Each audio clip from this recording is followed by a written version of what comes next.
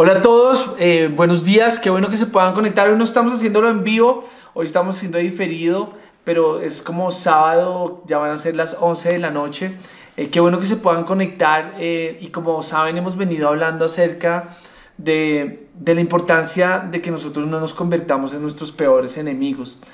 Es una serie en la cual ya vamos para nuestro cuarto domingo y hoy quiero compartir algo que para mí y para mi vida personal y para mi vida de, de, caminar con Dios ha sido una de las verdades más profundas, ha sido una de las verdades que más me ha transformado, es una de las verdades que yo aprendí cuando, cuando empecé este caminar de seguir a Jesús y hoy quiero compartirles porque creo que, creo que en mi vida personal me ayudó para no convertirme en mi peor enemigo.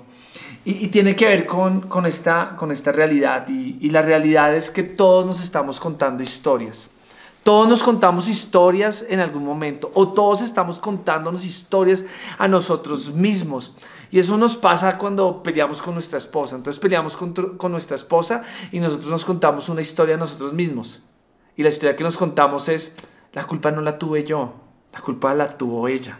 Y la culpa la tuvo ella porque es que ella no dejó las bolsas donde tenía que dejarlas. Entonces la culpable de esta pelea no soy yo, sino es ella. Todos nos contamos historias todo el tiempo. O mi hijo. Mi hijo muchas veces se cuenta a él historias, ¿no? Entonces yo le digo, Lucas, eso que estás haciendo no está bien.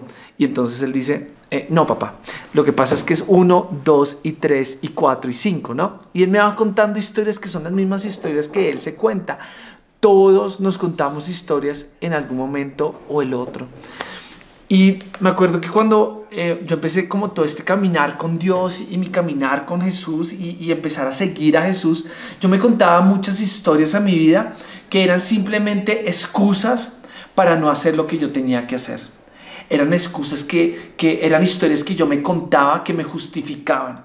Y hoy quiero hablar acerca de cómo las historias que nosotros nos contamos a nosotros mismos eh, le echan gasolina a nuestros temores, le echan gasolina a nuestro orgullo, eh, le echan gasolina a, nuestros, a nuestras indiferencias, le echa gasolina a el deseo de no perdonar, le echan gasolina a vernos de una manera en la cual Dios nos ve, no nos ve, las historias que nos contamos, hoy tenemos que dejar de contarnos esas historias que nosotros mismos nos estamos contando y que nos están destruyendo.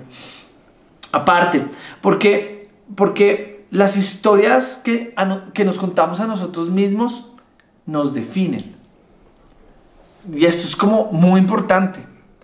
Y por eso este tema es tan importante. Las historias que nosotros mismos nos contamos nos definen determinan las decisiones que nosotros vamos a tomar a futuro. ¿Cuáles son las historias que te estás contando? ¿Cuáles son las historias que te estás contando a nivel personal? ¿Cuáles son las historias que tú te cuentas? Y, si soy vulnerable, yo lucho mucho con las historias que me cuento.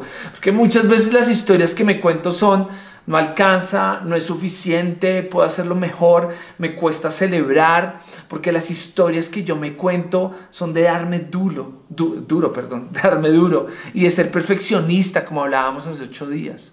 ¿Cuáles son las historias que te cuentas a ti mismo? ¿Cuáles son las historias que te cuentas cuando, cuando, tienes, que, cuando tienes que hablar o acercarte a tu familia? ¿Cuál es la historia que cuentas, que te cuentas a ti mismo de tu mamá? ¿Cuál es la historia que te cuentas a ti mismo de tus papás, de tus hermanos, de tus amigos, de tus profesores, de tu jefe? ¿Cuál es la historia que cuentas de tu jefe? Que te cuentes a ti mismo de tu jefe. ¿Cuál es? Porque las historias que tú te cuentas a ti mismo determinan las decisiones que tú tomas. Y hay, miren, las, las, las historias que nosotros nos contamos eh, son formadas por elementos que no controlamos. Y por esto ese es un tema que, es un tema que es muy difícil. Porque las historias que nos contamos a nosotros mismos son formadas por elementos que no controlamos. Y, eso, eso hace que, que, que sea tan difícil el poder cambiar los paradigmas que nos llevan a contarnos las historias que nos contamos a nosotros mismos. Porque eh, la manera en que se forman las historias que nosotros contamos es, uno, es a través del el momento de vida en el que estamos. Es muy difícil controlarlo. Entonces, tú estás en la universidad y en ese ambiente que tú estás, e, e, ese contexto empieza a formar las historias que tú te cuentas si tú estás de pronto en el matrimonio y la estás pasando difícil y estás teniendo muchas dificultades con tu matrimonio, ese es el contexto, ¿cierto? Que empieza a formar las historias que te cuentas a ti mismo. Si tú en este momento de pronto tienes pocos amigos, estás solo, eh, te sientes que, que no hay nadie alrededor, ese es el contexto que va a empezar a formar las historias que tú te cuentas. Eso no lo puedes controlar. ¿Ok? La segunda manera en la cual nosotros podemos, en la cual nosotros formamos las historias que nos contamos, es en la manera en que nosotros experimentamos el mundo, en la manera en que nosotros enfrentamos la vida, en la manera en que para algunas personas es algo que es muy importante y esto me pasaba mucho con mi esposa, porque mi esposa ve la vida de una manera y eso hace que ella se cuente unas historias. Y yo veo la, manera, la vida de una manera completamente diferente. Entonces yo me cuento otras historias. Entonces imagínense esto, ¿no? Y por eso es que nos convertimos en nuestros peores enemigos. Entonces mi esposa está viendo, está viendo la vida de una manera y se está contando historias y, estamos viendo lo mismo. Pero entonces ella, ella cuenta unas historias porque ya la, la ve de una manera diferente que la que la veo yo. Entonces nos estamos contando a nosotros mismos unas historias. Y, nos estamos llenando de justificaciones, de argumentos, y cuando tenemos que tomar una decisión, pues tomamos una decisión completamente diferente y terminamos como perros y gatos. Porque, porque nosotros construimos nuestras historias y las historias que nos decimos a nosotros mismos, dependiendo cómo nosotros vemos el mundo. Y lo tercero es eh, la manera en que fuimos criados. La manera en que nosotros fuimos criados determina las historias que nosotros nos contamos a nosotros mismos. Y, es por esta razón, eh, y esto nos ayudó muchísimo a mi esposa y a mí. Es como misma situación con nuestros hijos, pero entonces ya tiene una manera de verla, y ya tiene unas justificaciones y ya tiene unas decisiones que son completamente diferentes a las mías. Y un día caímos en cuenta, venga, o sea, porque estamos teniendo tantas dificultades. Y logramos entender que como fui criado me llevó a contarme ciertas historias que son completamente diferentes a las que ya se cuentan. Y el que nosotros nos contemos historia, historias tiene todo el potencial para que nos convertamos en nuestros peores enemigos. Las historias internas forman nuestras decisiones y tienen el potencial de convertirnos en nuestro peor enemigo. Y Pablo, Pablo el de la Biblia, ¿cierto? Pablo el que inicialmente estaba persiguiendo a cristianos, que inicialmente él se hizo una historia, ¿sí? Pablo inicialmente se hizo una historia, él dijo, la historia que se hizo Pablo y que se contó a sí mismo es, no es posible que haya una secta judía que esté diciendo que, que, que, que hay un hombre que se llama Jesús y que es Dios hay que matarlos a todos, hay que eliminarlos. Esa fue la historia que se contó Pablo. Y cuando Pablo se contó esa historia, adivinen qué hizo. Tomó decisiones. Se activó y empezó a matar eh, y a perseguir la iglesia. Y una vez empieza a perseguir la iglesia, todos sabemos la historia, que eh, eh, Saúl, Saulo, que es Pablo, se encuentra con Jesús y hay un encuentro divino, Él es transformado, eh, Él logra cambiar las historias que Él mismo se contaba a sí mismo y que lo hacía convertirse en su peor enemigo. Y Él se encuentra frente a una iglesia y esa iglesia está en Corintio. Y en Corintio hay una iglesia y pues hay personas que están empezando a seguir a Jesús, hay personas que empiezan a creer en Jesús. Y Pablo recuerda esta gran lección que él vivió en carne propia. Y es que él logró romper los paradigmas que le, le llevaban a tener ciertas conversaciones, les llevaba a construir ciertas historias que se contaba a sí mismo y que lo convertía en su peor enemigo. Y él, y él quiere darle un consejo a las personas que están en Corintio, para que ellos puedan romper la manera en que ellos construyen historias, que ellos puedan romper esas historias eh, completamente dañinas que se cuentan a sí mismos. Y está en un libro que está en el Nuevo Testamento, que está en Segunda de Corintios. Y en Segunda de Corintios, pues Pablo le está escribiendo a la iglesia en Corintios y les va a hablar acerca de esto, de, de cuiden las historias que ustedes se cuentan a ustedes mismos. Tengan mucho cuidado en las historias que ustedes construyen y los llenan de justificaciones. Pilas con las historias que ustedes construyen porque los están llenando y les está dando gasolina a todos sus temores, a, esa lucha que tienes con tu autoestima, con tu depresión, vienen de esas historias que te estás contando a ti mismo. Y Pablo dice, les voy a dar el consejo.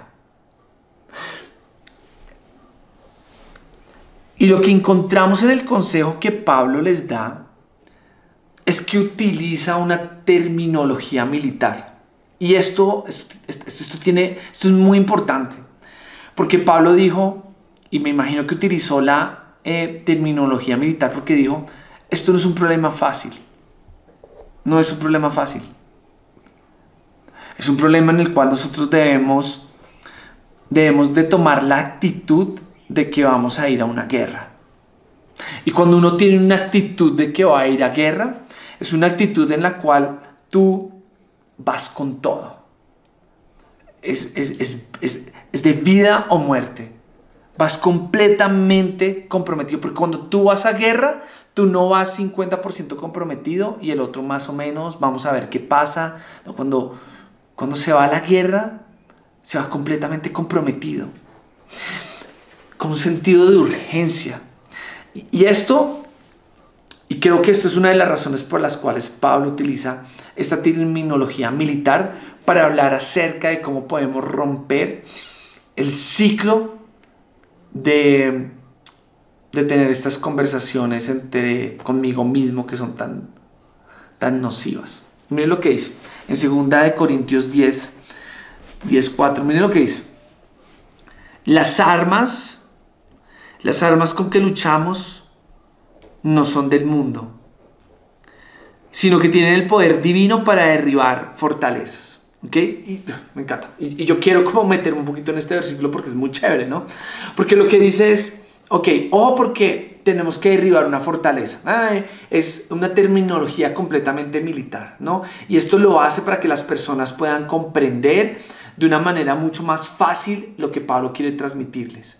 Tú y yo tenemos que ir y derribar una fortaleza. Y cuando nosotros vemos una fortaleza, pues una fortaleza es una fortaleza, es un muro. Es un muro impenetrable y es un muro que es difícil de derrumbar. Y Pablo lo que nos dice es, ustedes tienen que ir a derribarlo. Y para derribarlo, ¿saben qué es lo que tienen que hacer? Tienen que llevar un arma. Pero por lo general, las armas son empuñadas. ¿Lo dije bien, Juanca? Empuñadas. Son empuñadas. Entonces, ustedes imagínense en ese tiempo, no hace dos mil años, imagínese usted con un arma. Un arma que en ese momento usted la puede ver y usted puede decir, pues esto no tiene nada de fuerza y tengo que derribar una fortaleza. Imposible. Es imposible. Y, y eso, Pablo lo decía, porque el consejo que Pablo está dejando Hoy podemos ver ese consejo que Pablo nos deja, que ahorita lo vamos a leer, y, ¿saben qué podemos decir? Esto es imposible. O sea, si yo comparo esta arma contra la fortaleza que yo tengo que derribar, es inútil. Es ridículo. No va a servir. Y Pablo, me encanta Pablo porque logra construir con el lenguaje una manera tan clara de ver esta analogía y es, Pablo le está diciendo y a la gente en Corintio, yo les voy a dar un consejo, que cuando ustedes lo tengan en la mano, va a parecer muy pequeño, va a parecer muy ridículo y va a parecer que ustedes no pueden derribar esa fortaleza. Pero ¿qué es lo que dice? ¿Qué es lo que dice Pablo? Lo que dice Pablo es, las armas con que luchamos no son del mundo, sino que tienen el poder divino para derribar fortalezas. Y ahí está el secreto. El secreto es que el arma, que al parecer es muy pequeña, no es de este mundo, sino que es divina.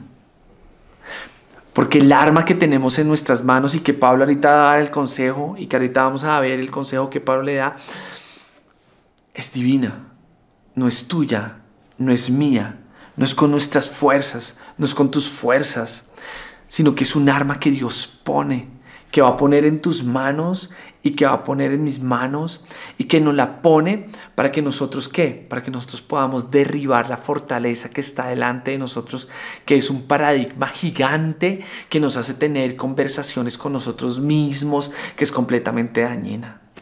Fortalezas. Fortalezas. Y yo me acuerdo cuando, cuando yo aprendí, yo aprendí este versículo de memoria. Y me acuerdo cuando lo hice y fue cuando empecé como a caminar con Jesús, a creerle a Jesús, como a tomarme a Dios un poco más en serio. Y fue un momento donde yo estuve muy solo en mi vida. Eh, mis papás estaban pasando dificultades, eh, realmente no tenía amigos en el colegio, eh, tenía una novia y terminé con esa novia. Y, y, y cuando, cuando está como en su juventud, pues mejor dicho, se le acaba uno la vida porque termina con la novia. Entonces estaba muy, muy mal estaba muy, muy mal. Y se podrán imaginar las historias que yo me contaba a mí mismo. Nadie me quiere, eh, realmente tengo poca gracia, realmente, eh, eh, o sea, realmente estoy muy pobre en el alma como para que no tenga amigos. Esas son las historias que yo me contaba a mí mismo adivinen cuál era mi comportamiento. Solo imagínense cuál era mi comportamiento. Solo imagínense cuál era la actitud que yo tenía frente a la vida. Tomaba pésimas decisiones, era mi peor enemigo, quería autodestruirme, porque esas eran las historias que me contaba a mí mismo. Y yo tuve que aprenderme este versículo y ahorita vamos a ver cuál es el consejo que Pablo da. Y yo tuve que coger este este consejo que da Pablo y tuve que tomarlo y hacerlo mío.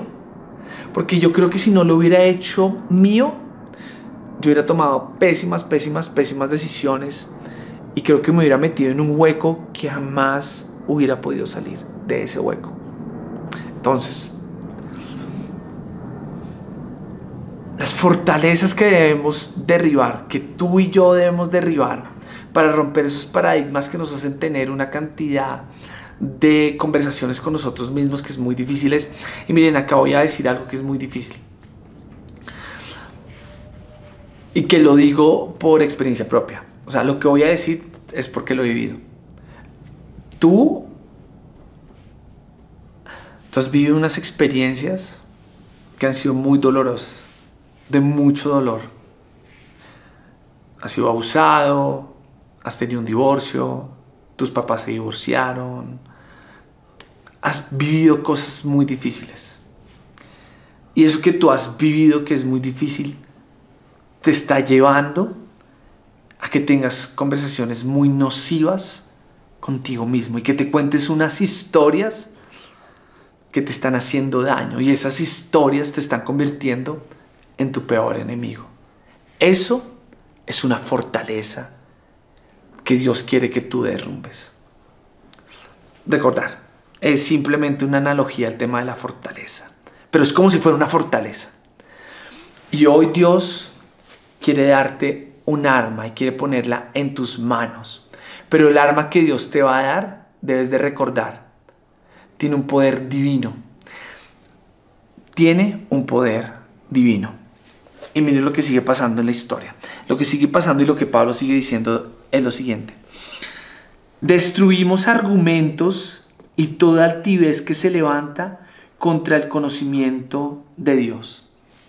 Acá que lo que Pablo está diciendo, lo que está diciendo Pablo es, miren, la fortaleza que se levanta, que nos lleva a que nosotros tengamos estas conversaciones tan dañinas, tan nocivas, que nos lleva a ser nuestros peores enemigos, es que nosotros levantamos argumentos que van en contra de lo que es Dios.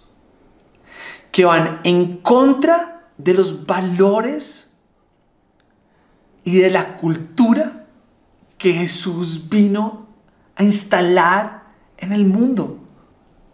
Porque cuando Jesús estuvo en medio de nosotros hace dos mil años, Él nos dejó ver un pedacito del reino. Él nos dejó ver un pedacito del cielo.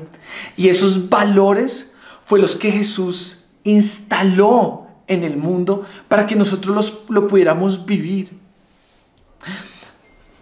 Y nosotros debemos realmente trabajar para que el motor de las conversaciones que nosotros tenemos con nosotros mismos sean esos valores, sea esa cultura que Jesús dejó establecida en el mundo.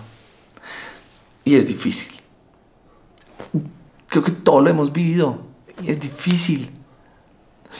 Y yo creo que por eso es tan importante que tú y yo podamos leer, que podamos leer la Biblia, que nosotros podamos leer Mateo, Marco, Juan, Lucas, que son los primeros libros del, del Nuevo Testamento. Porque cuando nosotros nos metemos en esas historias podemos conocer a Jesús. Y cuando nosotros conocemos a Jesús, nosotros podemos conocer cuáles son esos valores, cuál es esa cultura que Jesús quiso dejarnos. Mire lo que sigue diciendo en el versículo. Lo que sigue diciendo en el versículo es lo siguiente y dice, y llevamos cautivo todo pensamiento para que se someta a Cristo. Y llevamos cautivo todo pensamiento para que se someta a Cristo. Yo me acuerdo que este fue el pedazo que yo me aprendí. Y no les quiero decir, yo creo que parecía loquito. Porque yo iba caminando y me montaba en Transmilenio y yo me montaba y yo me la pasaba diciendo este versículo todo el tiempo. Yo pensamiento, todo pensamiento lo habéis en Cristo. Y yo, y me llegaba un medio pensamiento y yo era, no, no, no. Yo todo pensamiento a la obediencia de Cristo. Y así yo parecía un loquito porque hablaba conmigo mismo. Pero este versículo me lo repetía una y otra vez, una y otra vez, una y otra vez. Y lo que me encanta de la instrucción y el consejo que deja Pablo porque el consejo que da Pablo es el siguiente. Es, tú toma todo pensamiento, no algunos, todo pensamiento, y tú tienes que moldearlo, tú tienes que doblarlo de tal manera que lo pongas a la luz de los valores que dejó Jesús en este mundo. Y si, y si definitivamente no refleja los valores que Jesús dejó en este mundo, es algo que tienes que desechar de tu vida, que tienes que desechar de tu mente. Y esto no es una labor sencilla, esto es una guerra. Esto es una guerra. Y cuando, cuando lo empecé a hacer como en mi área que les contaba, pude experimentar algo que yo creo que es lo que Dios quiere que experimentemos pude experimentar libertad. Las cosas no cambiaron, pero pude experimentar libertad. Es lo que Dios quiere para nosotros. Libertad. Libertad. Dios quiere darte libertad. Ahora,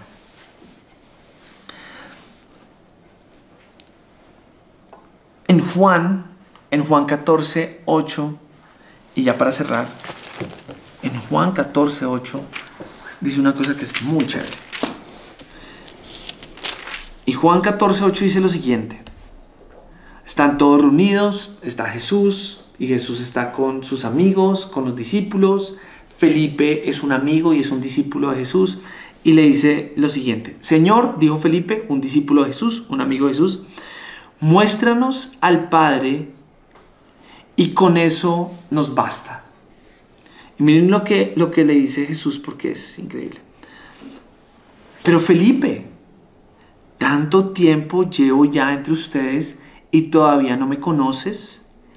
El que me ha visto a mí, ha visto al Padre. El que, el que conoce a Jesús, conoce a Dios. Quien conoce lo que ama a Jesús, lo que mueve el corazón de Jesús, los valores que tenía Jesús, conoce al Padre. Y en la medida en que nosotros podamos conocer más a Dios, en la medida en que nosotros podamos conocer más a Jesús, cuando llegue un pensamiento, cuando se esté empezando a formar esa fortaleza, yo la voy a poder identificar de una manera más rápida. Y por eso es tan importante que leamos la, la Biblia. La Biblia, miren, nosotros debemos acercarnos a la Biblia no por obligación, no porque, no porque vamos a ganar puntos con Dios, para nada. Eh, tú ya ganaste todos los puntos con Dios. En serio, tú ya los tienes todos ganados. Nosotros debemos acercarnos a leer la Biblia porque lo vamos a poder conocer más a Él. Y en la medida en que lo conozcamos más a Él, vamos a poder tener la oportunidad de poder identificar qué pensamientos están llegando a mi mente que me van a convertir en mi peor enemigo. Y los va a poder tomar y doblarlos y sacarlos. Pero estoy seguro que es, una labor que hoy en día no hacemos. Y al no hacerlo, nos contamos unas historias pésimas que nos están convirtiendo en nuestro peor enemigo. Miren, este versículo, Juan 14, 8, es una invitación. Es una invitación de Jesús a que lo podamos seguir. Es una invitación que Jesús te está diciendo, sígueme, porque si tú me sigues vas a conocer al Padre, vas a conocer a Dios. Y Jesús le hace esa invitación a todos. Hoy Jesús, no importa en qué momento de tu vida estás, te la está haciendo. Sigue a Jesús. Y una vez nosotros empecemos a seguir a Jesús, vamos a empezar a tener, vamos a tener la capacidad de conocerlo y en la medida que tenemos la capacidad de conocerlo, vamos a poder contarnos las historias que debemos de contarnos, porque está bien que nos hablemos a nosotros mismos, es sano hablarnos a nosotros mismos, pero que nuestras conversaciones reflejen los valores que Jesús instaló en este mundo. De resto, sería autoayuda. De resto sería como coaching. De resto, y, y eso no tiene nada de divino. Y en la medida en que nosotros empezamos a contarnos las historias que reflejen los valores que Jesús instaló en el mundo, vamos a contarnos historias de gratitud. Y en el momento en que nosotros empezamos a contarnos historias de gratitud, nosotros vamos a empezar a tener gratitud con las personas. Nosotros vamos a ver las personas diferentes. Y sabes qué, lo más importante, tú te vas a ver diferente. Tú te vas a ver diferente. Y aparte de eso, vamos a poder informar correctamente a nuestra conciencia. Y por ende vamos a cambiar nuestra actitud. Vas a cambiar la actitud con tu mamá, vas a cambiar la actitud con tu papá, vas a cambiar la actitud con tus hijos, vas a cambiar la actitud con tu jefe, vas a cambiar la actitud con tu esposa, vas a cambiar tu actitud con tus amigos, vas a cambiar tu actitud con aquellos que no deben de ser tus amigos y debes de dar un paso al lado, pero hoy no lo haces. Vas a empezar a cambiar tu actitud y vas a tomar decisiones que no te conviertan en tu peor enemigo. Para terminar, quiero dejarlos con esta frase que me encantó. ¿Por qué hacerlo? ¿Por qué entrar en este desgaste y en esta pelea? Porque, estar lleno de ti, porque, porque que tú y yo estemos llenos, llenos de nosotros mismos, lo único que nos va a dejar es vacío. Pero en el momento en que nosotros empezamos a vaciarnos, y este es un trabajo de vaciar nuestros pensamientos. En ese momento empezamos a ser llenos. Empezamos a ser llenos.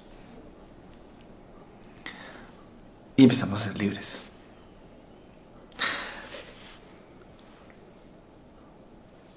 La pregunta es, ¿cuáles son tus fortalezas? Yo, tengo las mías son evidentes. ¿Cuáles son tus fortalezas? Porque hoy es el tiempo, hoy es el día. donde puedo coger todos esos pensamientos, todos esos paradigmas y los pongo a la luz de los valores que dejó Jesús en esta tierra. Y debo empezar a transformarlos. Y Dios puede transformarlos. Y en ese momento, en ese momento, empezarás a experimentar la libertad que solo Dios puede darte. Yo quiero orar, eh, orar por ti, orar por mi vida, eh, para que Dios pueda derrumbar todas esas fortalezas que realmente podamos seguir el consejo de Pablo. El consejo de Pablo es, lleva todo pensamiento, toda idea, sométela a la luz o llévala a la luz de los valores del reino, de los valores que dejó Jesús. Y si, y si definitivamente no están alineados, sácalo de tu vida. Trata de que Trata de que las conversaciones que tú tengas contigo mismo reflejen los valores del reino. Y hoy Dios, Señor, hoy, hoy queremos venir delante tuyo y te pedimos, Dios, que, que tú puedas trabajar en nosotros. Y que, que en el nombre de Jesús podamos ver que tú hoy nos diste un arma. Divina y poderosa. Tal vez se ve pequeña frente a la gran fortaleza que yo tengo en mi vida pero quiero tener fe. Hoy quiero tener fe. Que el arma que tengo es divina y es poderosa. Es divina y es poderosa. Y esa arma que tú hoy me das tiene la capacidad de derribar la fortaleza que está en mi mente, que está en mi vida. Y Dios tiene la capacidad de hacerlo tiene la capacidad de hacerlo. Y que las personas en el nombre de Jesús puedan darse cuenta del arma que Dios hoy está poniendo en sus manos. Y es el consejo de que todo pensamiento, todo pensamiento, lo llevemos cautivo a la obediencia de Cristo. Esto te lo hemos pedido en el nombre de Jesús. Amén y amén. Hola, gracias por conectarte a la charla. Creemos que no importa dónde estés, Dios puede traer cielo a la tierra a través de ti. Te dejamos la charla anterior y no olvides suscribirte para que todos los domingos te lleguen notificaciones del contenido que subiremos al canal de YouTube. ¡Chao! Thank you.